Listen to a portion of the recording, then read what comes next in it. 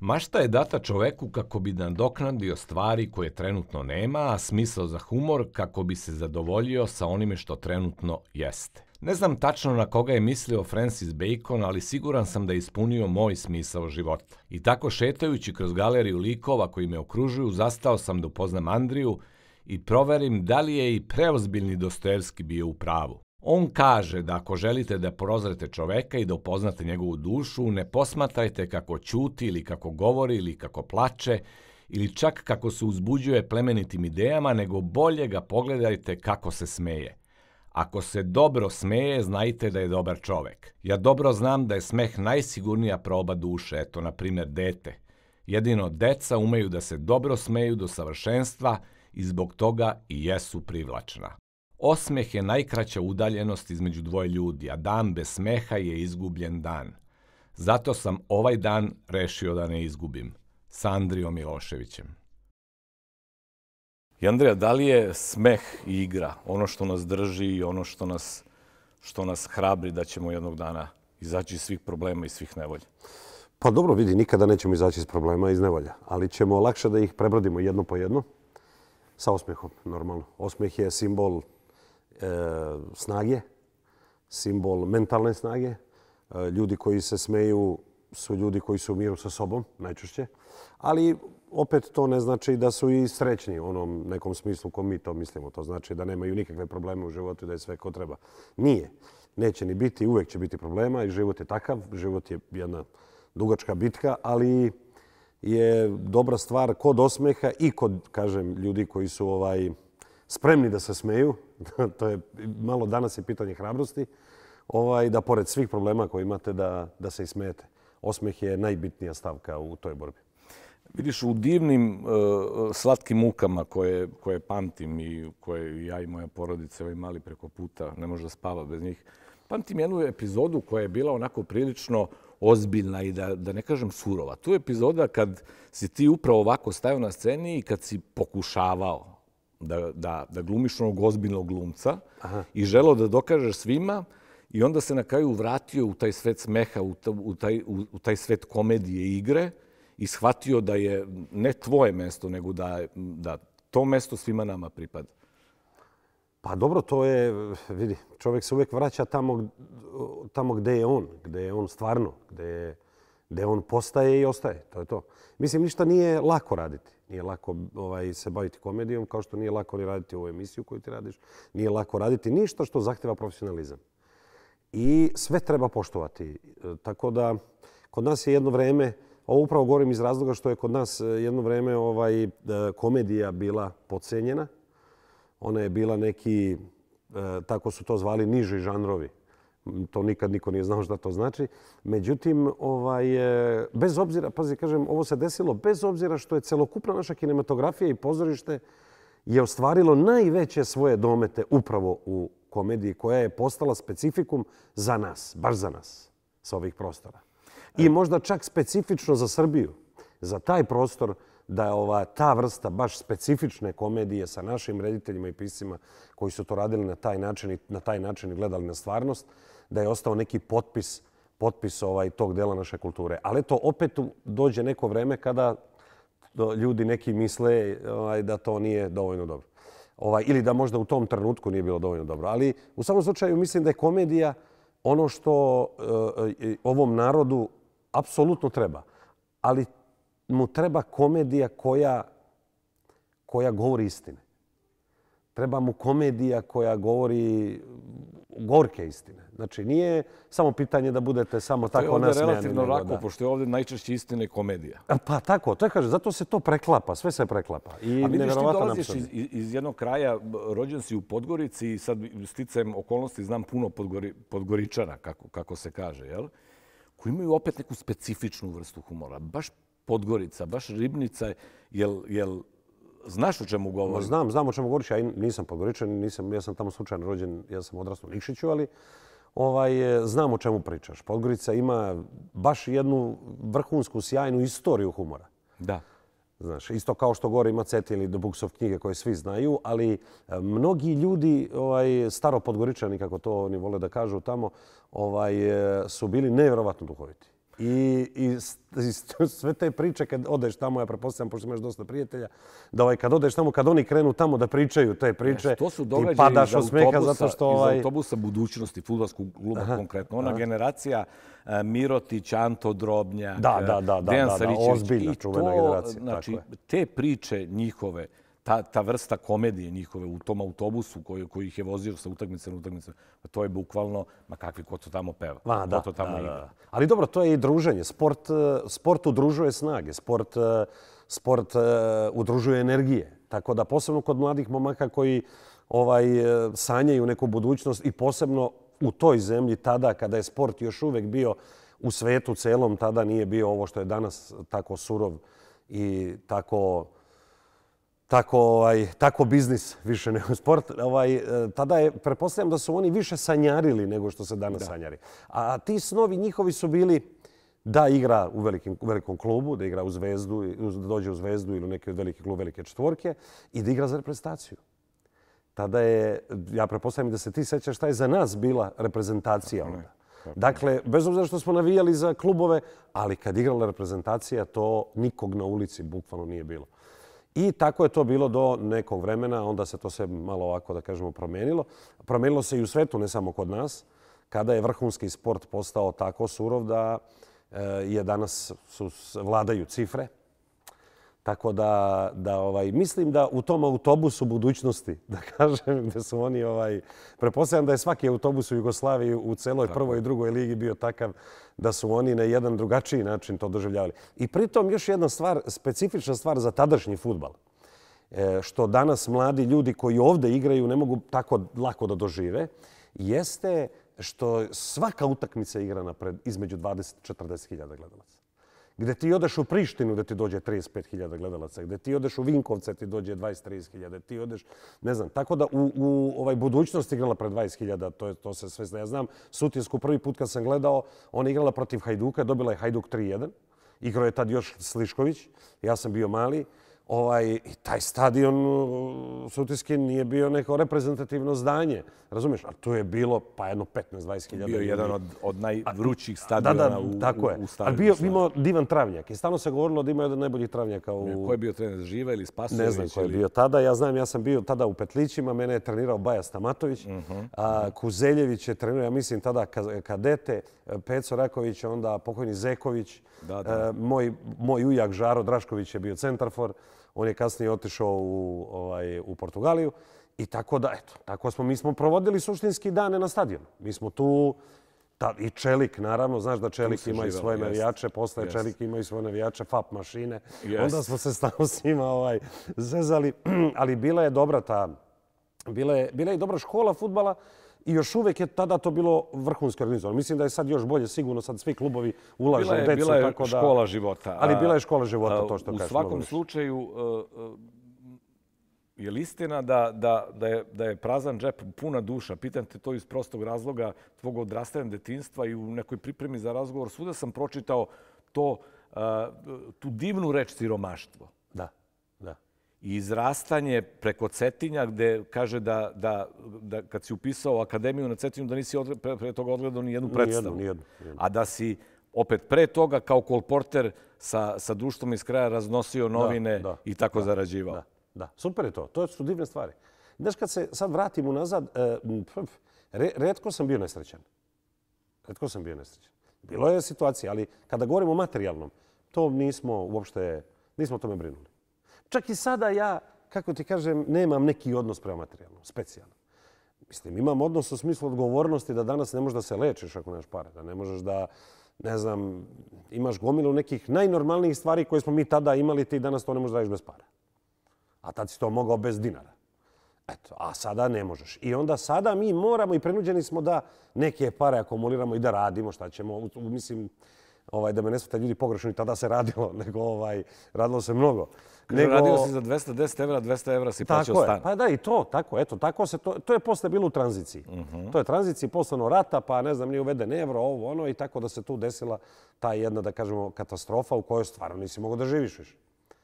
Znaš, ali, opet ponavljam, ovaj, e, nisam bio nesrećan. Nisam bio nesrećan. Više muke imam sada, kada sam Mada, kao uspešan i ne znam nije šta verujem. Razumeš, nego, ali nego ona klono, klovnovska suza.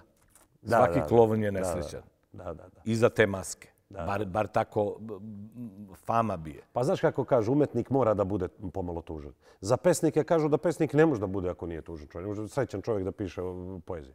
Ovaj, kao vese, ne znam nije šta, razumeš. Umetnici imaju to u sebi i ja lično jesam vrlo, vrlo emotivan čovjek. I krh čovjek, nisam ja, mene je lako slomiti. Ja nisam, kako da kažem, a, pošto normalno da radim sa emocijama i sobstvenim emocijama, samim tim ste ranjivi i to je normalno. Znaš. A, i, ali čime se branim? Branim se samo radom. I radom i ovaj stvaranjem. Ja, I ovo pozorište u kom smo sada, ovaj teatr na brdu, je stvaranje. Ovo je stvoreno. Jednostavno je stvoreno. Mnogo je trebalo se popne uz brdo.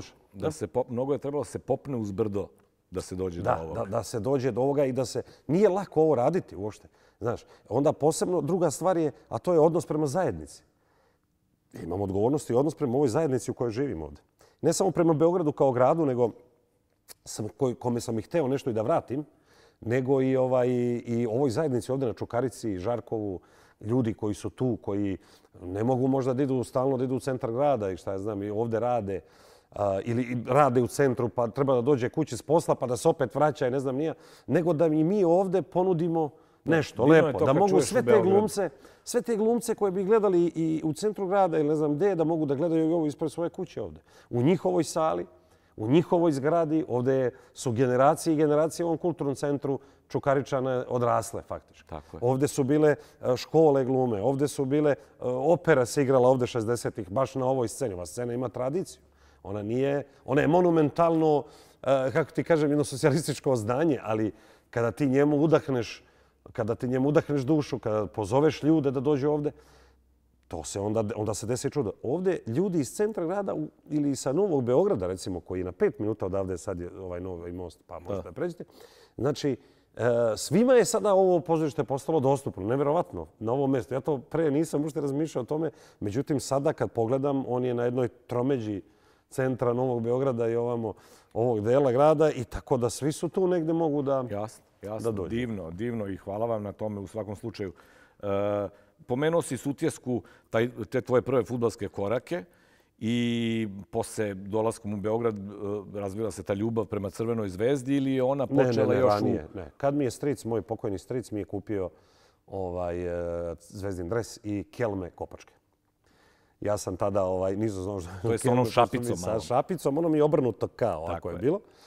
I ovaj, tad sam počeo da treniram. Baja Stamotović bio trener tada u kadetima. Si imao? priča je bila za njega desno krilo. Ovaj, I, mislim, kako ti kažem, mi tad nismo to ni, ja to tad nisam ni znao šta je, razumiješ, nego smo mi to, znaš kad ti kažu centar half, ja nikad nisam znao šta je centar half. Da, da. Ja to su dve reči, nemam pojma gde je, centar, znači centar, a pola terena, kud je on, majka mu stara, gde ide. da.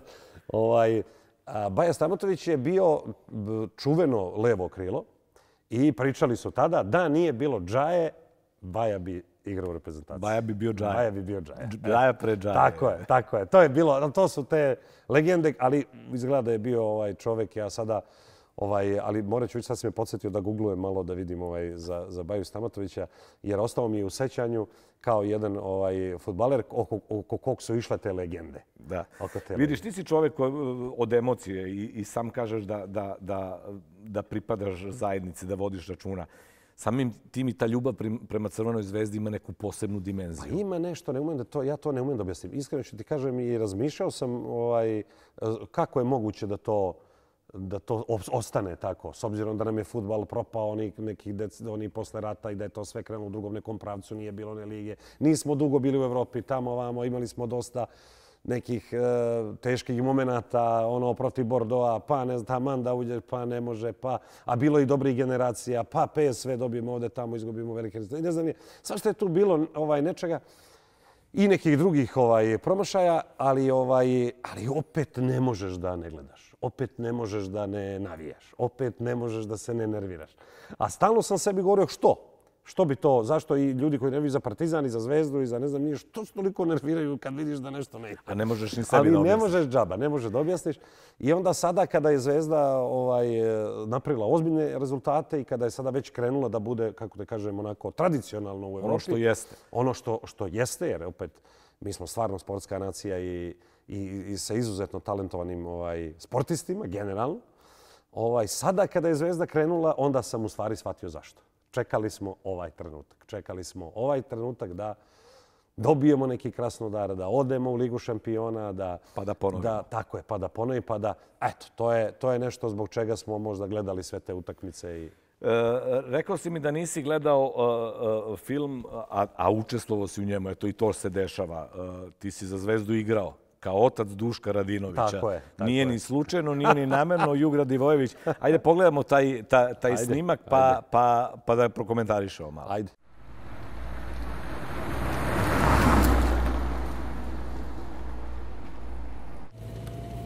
Kad igra Zvezda danas? U pet, šefe.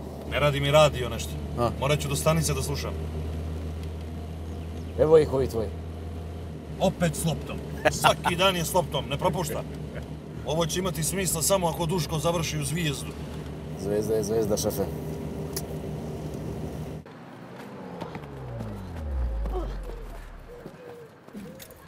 Mali, ajde dosta je te lopte više, dolazi vamo. Mora u školu da se ide. Evo prilike, evo šansi 3-0! Kako je to lepo!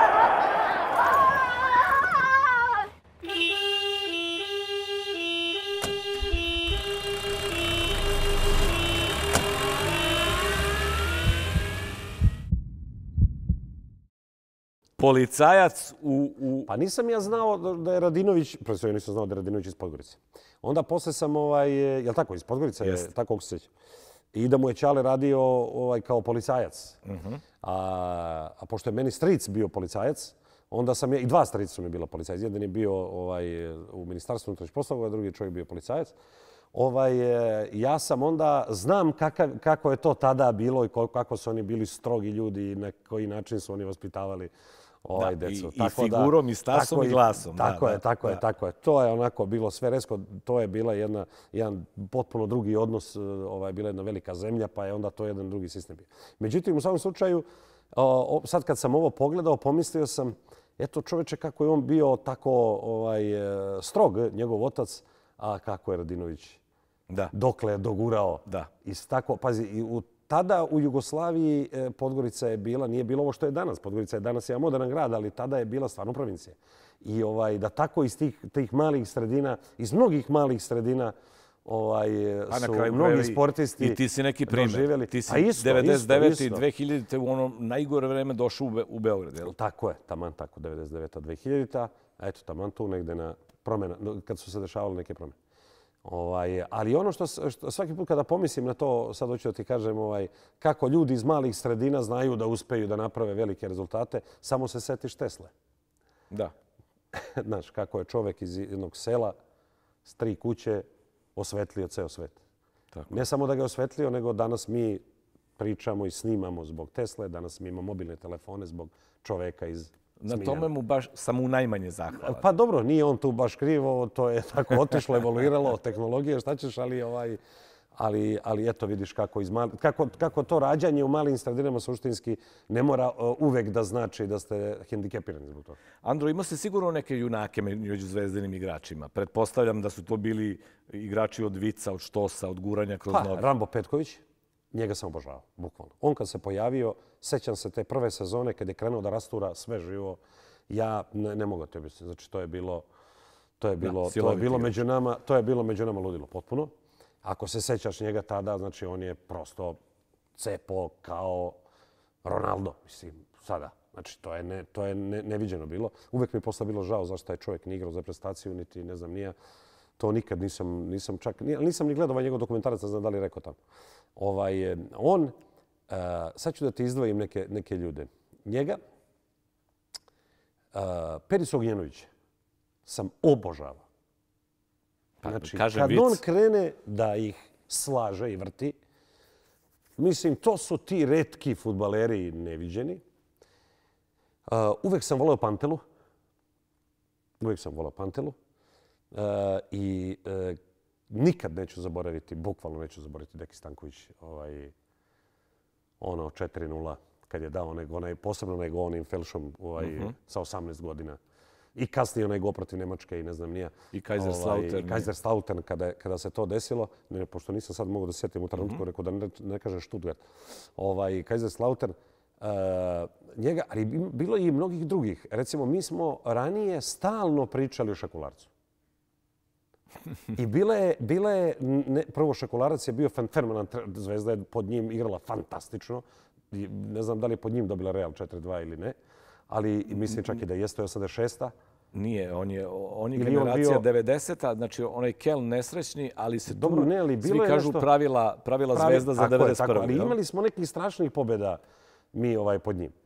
E, pričalo se da on je e, e, trčao i da je znao da ovaj tolikom brzinom ostavi loptu da trči bez lopte, da njegov čuvar trči za njim, da on ode među reklame tamo na iza, u aut, u, iz auto linije i da ovaj dalje trči za Jest, njim. jest. Jel to se pričalo. Ja sam to jest. pokušavao kasnije da nađem na YouTube-u, ali nisam uspio da nađem baš taj slučaj. Ali eto, to, mi, to, su, to su ti, da kažemo, umetnici, A umetnici kaži mi našeg od fudbala. utakmica, e, bio si mali, ajde, uslovno rečeno mali kad je bila 91. Znači Bari pa Tokio. Nisi bio mali, pamtiš sigurno, ali taj uspon zvezde do, do, Kako do ne pamtim? Pa evo, uspon je, uspon je, vidi, sve smo voleli, naravno, naravno da je Dejo Savićević, ovaj, e, evo sad ću ti reći od tih, od tih ljudi, pazi, pre toga Pixi, kog moram da pomenem zato što je Pixi za mene ono, stvarno jedan od najboljih futbalera svih vremena naših. To, to, je, to je ipak tako, mislim. Ovaj, e, e, voleo sam da ga vidim Pixi. Ono što je bilo zanimljivo, kad god strepim, ono, meč neki strepim, izađe Pixi i ja se nekako smirim. On je imao neki autoritet i preko televizije. Razumeš? Ali nije baš bilo tako u Firenci A, sa pa onim penalima, ako se Pa dobro, sjećam. jeste, ali, ali dobro, to je sport. se. Nego ti kažem kako je to uticalo na, Pixi na je mene. Pixi. Da je on ipak do, Pixi, uf, dobro. Ajde, nema veze, bit će, bit će iako okej. ne bude kako nešto, oprošteno Ako ne bude nešto, on ima, on ima takvo lice, ima, ovaj, Mhm. e, ja njega nikad nisam upoznao, ovaj, ali ima takvo lice da on je uvijek nekako izgledao tako preozbiljno, razumeš, Mhm. ne znam zašto. Interesantna mi je priča uh, uh, Cile uh, uh, iz ateljeja, Mhm. čuveni Boža Dunster. Pa smo pravili emisiju u atelju i on mi priča kako je upoznao Đuzu Stojiljković i kaže ja sam se tad, kaže, osjećao pored Đuze kao da igram sa Prosinečkim. Napravio je fenomenalnu komparaciju, kaže, Da, kad on meni repliku, kaže, pusti, kaže, ja samo spustim glavu, dam gol i... Znači, s- A isto je, da, jeste, dobra je komparacija, jeste, slično je, slično je. Slično je, slično je. Tako da, recimo, pazi, Dejo Savićević, ako se sećaš crnomača sa Morače, kako ga je zvao jedan od reportera ovaj, sa radija. Đurković. Da, ne Đurković, ne, a ne. mislim da je ovaj Hrvat jedan da je rekao A da, crnomače Tomić, sa Tomić, Morače, jeste. Tomić ili tako, nešto on je to rimovao. I Lane sa Korane. Tako je, ma predivno, predivno, ma mislim, tad, tad je vreme to sve sporta bilo mnogo lepo. Da, mnogo lepo. To je bilo to vreme. ovaj, e, e, da, je, da je Dejo je doneo, kao i Prosinečki, mislim i kao cela ta generacija. Ali mislim da su oni bili jedna od posljednjih generacija tog jugoslovenskog brazilskog futbala. Znaš da su nas zvali čuvena evropski priča, brazilci. evropski Brazilci, jeste. E, Tako- mislim da je to bila ta... To, toliko mi je žao što ta reprezentacija nije osvojila to prvenstvo ovaj, svetsko, jer sam bio siguran da, da su oni bili blizu i da bi sljedeća sa Bobanom Prosinečkim, Savićevićem, Ovi klinci iz Čila koji su bili prvaci sveta u Čilu, Da, tako je. Mislim da bi oni to razvalili ono, i ono evropsko prvenstveno da bi sve išamarali, bukvalno. Andro, uh, vraćamo se u pozorište, vraćamo se u, tvoj život. Uh, uh, kako vidiš sebe i uopšte život u, u, u nekoj perspektivi godine, dve, tri, pet? U kom pravcu ne, ovo ide? u pravcu da se, otko znam, nemam pojma, u pravcu da radim i da se čuvam. Znaš, mi danas Od moramo... koga? Pa ne znam. I od čega? Pa ne znam, ne znam. Od sveta, od, od e, virusa, od ratova, od otkud znam čega. Znači, moramo nekako, ja mislim da bi svaki čovjek trebao da ima u glavi da smo, da i mi negde moramo biti odgovorni da predupredimo svaku, svaku vrstu zla koja može se desi u budućnosti. Znaš, vidiš da sada ljudi ratuju na sve strane, da je ovaj virus takav da jednostavno ili neće da, da ga srede ili, ili, ovaj, ili ne mogu. I mi smo konstantno u, u, u, u- u nekom projektu gde moramo da se čuvamo. A gde je ta sigurna kuća? Možda ova? Ne, pa ova, evo, to je to. Među prijateljima, da radimo ono što volimo, da promovišemo najlepše ljudske vrednosti. Sigurno, to je sigurno. Mhm. Mislim da to sportu sada nedostaje. Mislim da sportu sada, da, bi, da, da, da se manje priča o parama, da, da, da se više priča o tome. O, o, o tome šta sportista mora da bude, da bude lično, kao ličnost, da bi bio vrhunski. O Da. tome. A ne samo da se priča o transferima. Jer ti recimo sada, ali nemoj da misliš da je to samo sport ili futbal. To je, to je vezano za celokupnu našu kulturu, da kažem, ovaj, ili celokupno naše društvo. Znači, samo se priča o financijama i samo se priča kao da je to najbitnija stvar na svetu. A nije. Stvarno nije. Tako da, tako da mi moramo, izvinite što prekidam, mislim da mi moramo jednostavno, kako ja sebe vidim, a to je da svoju budućnost kreiram tako da utičem na što više ljudi, da ih sačuvam od tih loših stavova, loših misli, od, od lenjosti, od, od svega onoga što nam, svega, na- svega onoga što nam se nudi svakodnevno u medijima kao parametar življenja. I to su neke slatke muke, pretpostavljam, jel? Pa vidi, zato što su slatke muke, to bi trebalo da bude, da biram između dva dobra. To bi trebalo da bude slatka muha. Ali ovaj, ovako ja mislim da treba da se, da se mi opredelimo eh, da, da budemo dobri i tu jedni za druge. Lično jedni za druge. Do najbližeg čoveka, ne ideš dalje globalno, nego to imaju ljudi koji se bave politikom, oni se bave tim, a mi treba da se bavimo ljudima koji su do nas, komšijama, prijateljima, rođacima, porodici, Tako je. Uh, pozorište ili film? pozorište. Definitivno. Da, pa ne može to da se poredi. Mislim, meni lično. Znaš, imaš ljudi koji su više filmski ljudi i vole film i nekako drugačije to osjećaju. Ja ovo osjećam. Ja ovo osjećam. Ja večeras imam predstavu, igram sam, ovdje će biti neki ljudi i mi ćemo provesti neko vreme zajedno, ali tu nema nazad. Ja kad izađem ne mogu pobegnem. Tako da ja sam tu i to je to. Tako da to je jedno čeličenje i ovaj, ja sam odrastao u pozorištu, počeo sam da radim pre 25 godina sa 16 godina. Nikada nisam prestao. I tako da ja mislim da je sa ovim pozorištem zaokružen neki moj opus, taj pozorišni u smislu tih mojih snova. Sada na red bi mogle da dođu i uloge, recimo, da se ne bavim samo menadžerskim poslom. Slušaj, smeće mi se ljudi ako me ne nasmeješ jednim vicom. Nemam ni jedan, žao mi je, izvini, bih vrlo rado, ali nemam. Ništa nisam ni čuo. Izmisli ga. Ne mogu, ne mogu. A iskreno ti kažem, i ovaj, toliko su me ljudi, toliko su ljudi sad počeli da pričaju viceve, da ja ovaj, ponekad slušam ono, znaš, na internetu, ali one, ono što ja volim da pričam, toga malo ima. I te, teško dođem do njih. Znaš, to neko ko, to se ponekad desi, ja odmah to izbacim, ali već dugo nisam čuo ništa.